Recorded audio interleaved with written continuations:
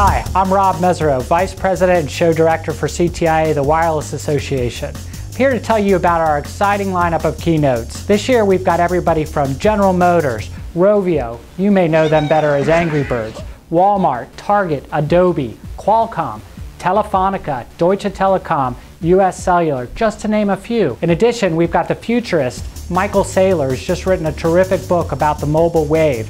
He also happens to be the founder and CEO of MicroStrategies. We've got Michael Chasen, who's the co-founder of Blackboard. Also on the docket, we've just announced entrepreneur, actress, and entertainer Jennifer Lopez. She'll be joined by executives from Verizon Wireless and Brightstar. Closing out the show will be Ashton Kutcher.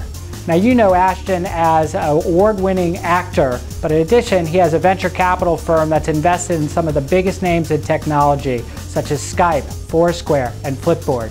I hope you'll join us in Las Vegas.